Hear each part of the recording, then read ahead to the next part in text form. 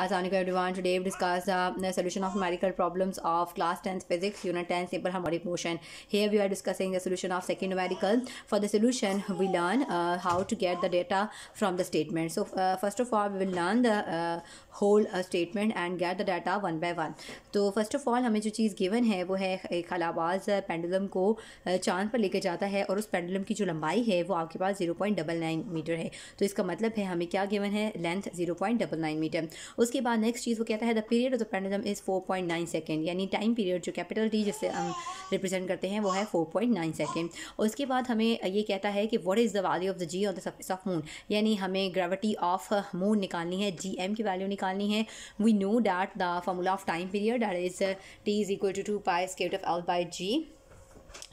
uh, here we write uh, not only g we write it here gm gm represent कर रहा है gravity of moon को क्योंकि हमें gravity of moon find out करनी है। टी की वैल्यू हमें 4.9 सेकंड गिवन थी वो हमने सब्सिट्यूट uh, कर दी। पाई की वैल्यू होती है 3.142 एज इट इज़ आया। लेंथ की value zero point double nine metre थी और ग्रेविटी ऑफ़ मून हमें फाइंड आउट करनी है। तो हम लोगों ने टू और three point one four multiply होता है दूसरी साइड पर जाके डिवाइड कर देंगे।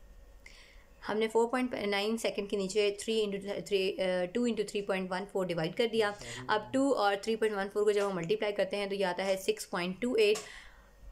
four point nine के नीचे जब सिक्स पॉइंट टू एट को डिवाइड किया तो ये आ गया zero point seven eight zero अब हमारे पास हमें तो ग्रेविटी ऑफ़ मून की वैल्यू फाइंड आउट करनी है और ये स्केयर रूट मौजूद है। स्केयर रूट को ख़त्म करने के लिए हमने स्केयर ले लिया बोथ साइड्स पे। जब हमने स्केयर लिया बोथ साइड्स पे तो zero point seven eight zero का स्केयर आपके पास आ गया है zero point six zero eight four और जो इधर स्केयर्स के रूट से कैंसिल हो जाएगा आपका। ये स्केयर्स के रूट से हमारे पास कैंसिल हो जाएगा और यहाँ से आएगा zero point double nine metre